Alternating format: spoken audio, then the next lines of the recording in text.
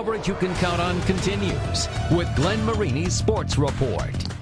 This season, the Komets have been a bit of a mystery, but tonight the K's are all about making some history. After missing out last year, the K's playing their first ever playoff game in the ECHL.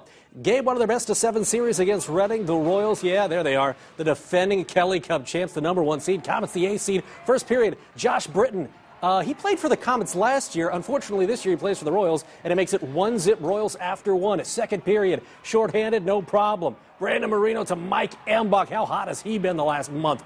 Game tied at one. Now we're still tied at one. 15 seconds in regulation. Shawn Szydlowski getting aggressive, gets the steal, and then patient and lights the lamp. Sidlowski scoring with 8.1 seconds left in regulation. Komets win the opener on that goal 2 1. Game two will be Saturday, and that will also be in Reading. Try to live up to that.